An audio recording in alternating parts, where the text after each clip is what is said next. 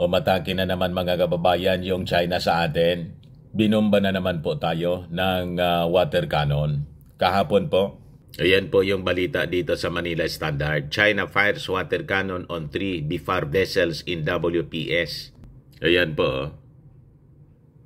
Tapos, inulit nila kaninang umaga. Uh, ito, separate incident ito mga kababayan. Sabi rito, Philippine resupply vessel, Chinese Coast Guard ship collide.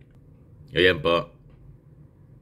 So, malamang uh, nag-collide ang uh, resupply vessel natin with uh, ano with Chinese uh, Coast Guard kasi siguradong blinak na naman po tayo para i-prevent yung ating resupply mission na makapaghatid ng uh, pagkain sa ating mga sundalo doon sa Ayungin Shoal. But uh, before ko mga kababayan ibigay sa inyo yung full story, click subscribe muna dito sa ating YouTube channel and hit the notification bell para lagi po kayong updated sa mga kaganapan dito sa ating uh, bansa. Like and share na rin po ninyo ng ating video. At huwag na rin po ninyo mga kababayan na skip yung ating mga commercial ads para tuloy-tuloy lang po ang pagunlad ng bagong Pilipinas. Sa mga naghahanap pala po ng uh, malinis and spacious fitness gym, bumisita lang po kayo sa aming Colossal Fitness Gym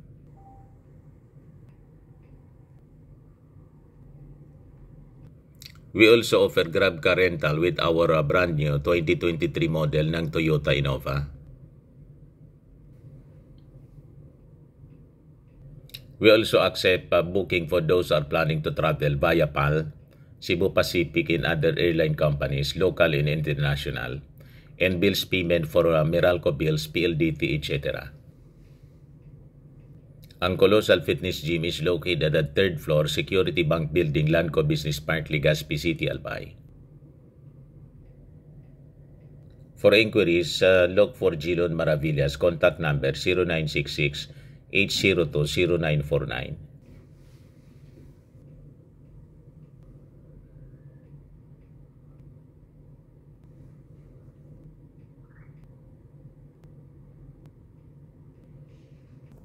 Ayos pa. Ayos na ayos niya Mr. Maravillas. So ito yung nauna mga kababayan. Uh, this happened uh, nung Sabado. Binomba na naman po tayo yung uh, tatlong BFAR vessels po. Binomba ng water cannon ng mga Chinese. Ayan po mga kababayan. Uh, yan yung nakuhang picture ng uh, Philippine Coast Guard.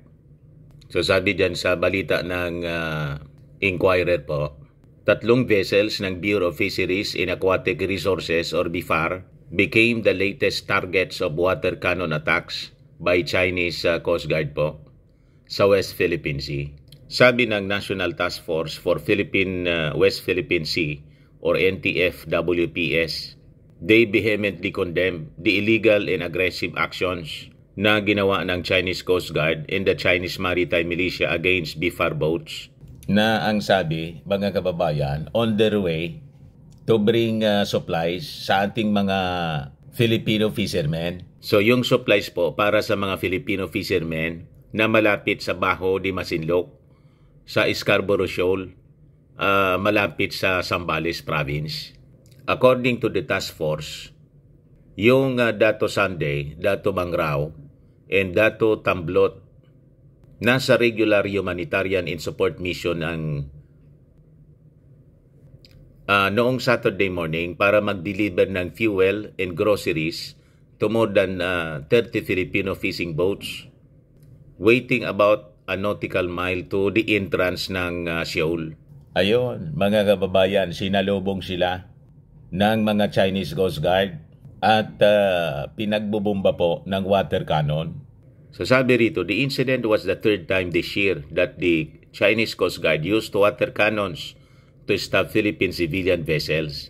Sabi po ng mga TV, Filipino TV journalist na nag-cover po ng BIFAR mission, yung uh, Bureau's vessels encountered two uh, Chinese Coast Guard ships na may bow numbers 3305 and uh, 3302 at saka may kasama sila na apat pang uh, maritime militia boats. mga around uh, 2.6 kilometers away from Baho de Masinloc. Yung uh, Chinese Coast Guard po daw, nagsimula na magbomba uh, ng water cannon mga around 9 o'clock in the morning.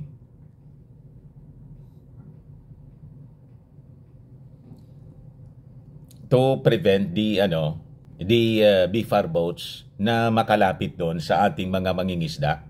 At yung pambubomba po, tumagal hanggang 1 o'clock in the afternoon. Matindi po. Ayon mga kababayan kay Jonathan na Malaya, Task Force spokesperson, na itong mga Chinese ay gumagamit ng kanilang water cannons at least uh, o gumamit na at least 8 times at nag-cause siya ng significant damage to BFAR vessel, Dato Tamblots Communication and Navigation Equipment, as it was directly and deliberately targeted by the Chinese Coast Guard. The BIFAR in attached agency, an attached agency of the Department of Agriculture said it was the most aggressive action anya na ginawa ng mga Chinese and the first to be inflicted upon uh, them by the Chinese Coast Guard using water cannons. So tama mga kababayan yung mga analysis natin na yung pagkita ng ating Pangulong Bongbong Marcos with the Chinese uh, President Xi Jinping, sabi natin, yung ating Pangulong Bongbong, sincero. Pero yung pagmumukhang yon, mga kababayan ni Xi Jinping, iba man po yung ginagawa sa kanilang sinasabi. So importante mga kababayan talaga na idiridiritso lang ng ating Pangulong Bongbong Marcos yung kanyang mga ginagawa na dapat po tayo dito ay uh, handa as we engage mga kababayan, yung ating mga regional partners, yung Southeast Asian uh, countries, yung uh, pakikipag-ugnayan natin with the military ng Japan, ng South Korea, ng Australia, at lalo na mga kababayan ng uh, katratado natin, yung Amerika. Kasi uh, walang sincerity on the part of Xi Jinping. Gusto na talaga nilang kamkamin ang hindi sa kanila mga kababayan. At uh, inulit pa nila mga kababayan, kaninang umaga lang ito yung latest. Sabi diyan, Philippine resupply vessel, Chinese Coast Guard ship collide. A Philippine uh, resupply vessel collided with the China, China Coast Guard a ship on Sunday. So ngayong umaga lang, Philippine resupply mission to Ayungin Shoal. So this is a separate incident kasi ito sa Ayungin Shoal at yung resupply mission ito para sa ating mga sundalo na nakatalaga doon sa isinadzad na uh, ah, BRP Shira Madre natin. So sabi diyan, this was confirmed to Manila Manila Times by United States-based security expert Ray Powell based on monitoring through the use of automatic information system. The incident uh, at 6.39 a.m. ngayong uh, Sunday involved Philippine resupply vessel UNISA May 1 and uh, Chinese Coast Guard 2156 uh, o 556. So sabi rito, the Philippine government has yet to issue a statement about the incident. Yung banggaan mga kababayan happened a day after the Chinese ships water cannon the three Philippine vessels off the Bajo de Masinloc or Scarborough Shoal. The three vessels were on the way to provide oil subsidies and groceries to Filipino fishing vessels. So yun po, very brief pa yung uh, uh, story. Wala pang masyadong detalye kasi kani-kanina lang po na nangyari. Around uh, 6 o'clock in the morning, pero as usual, mga kababayan, hindi man po tayo nagpapasindak. And in fact, we have our Christmas convoy na papunta po sa Ayungin Shoal para magbigay ng mga Christmas gift sa ating mga kasundaluhan doon. Yan po, Christmas convoy Asto Skirt Ayungin. Magdadala sila ng uh, mga supplies dito sa ano, uh, mga nakadetail na mga kasundaluhan natin sa BRP Sierra Madre.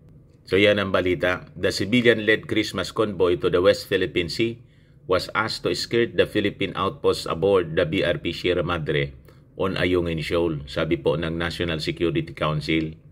As uh, Chinese ships massed in contested area days before the convoy sailed.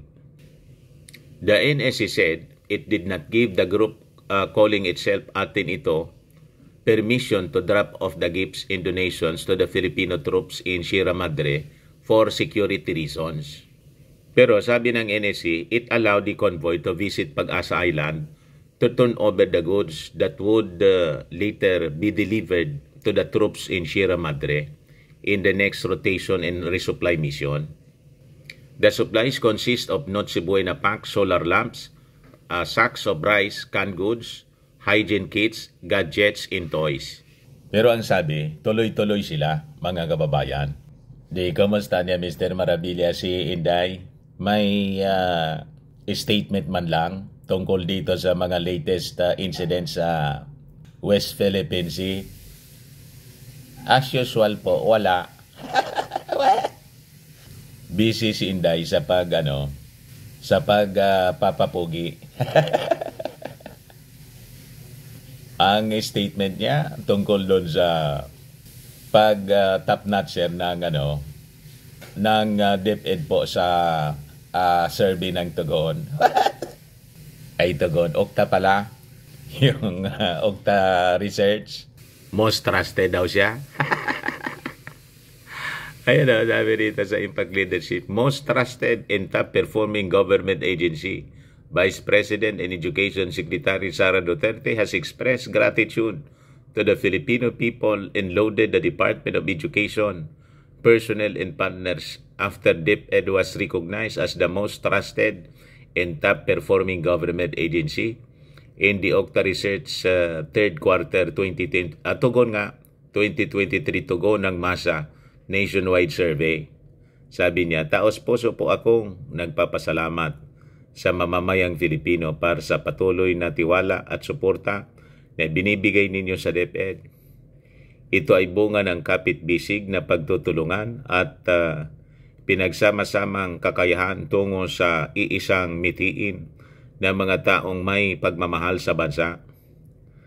Ang pagkilala na ito ay ang pagkilala sa dedikasyon at puso sa serbisyo publiko ng ating mga guro, kawani, parents supports group, private uh, partners, at stakeholders na nagkakaisang magbigay pugay sa lahat ng ating mga guro, kawani at partners sa palaging bukas palad na maglilingkod sa bayan. Sara Duterte, Vice President, Secretary of Education.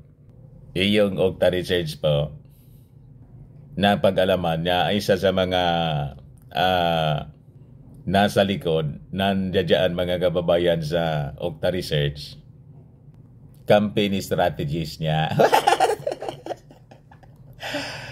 Doon nakatuon yung kanyang ano, atensyon mga kababayan. Wala man lang tayong narinig uh, kung ano ang kanyang posisyon sa pagmamalabis ng uh, China sa atin dito sa West Philippine Sea. Alam na niya, Mr. Maravillas. anyway, yan man lang po, mga kababayan. Ako po si Dante Maravillas. Bye-bye po. God bless.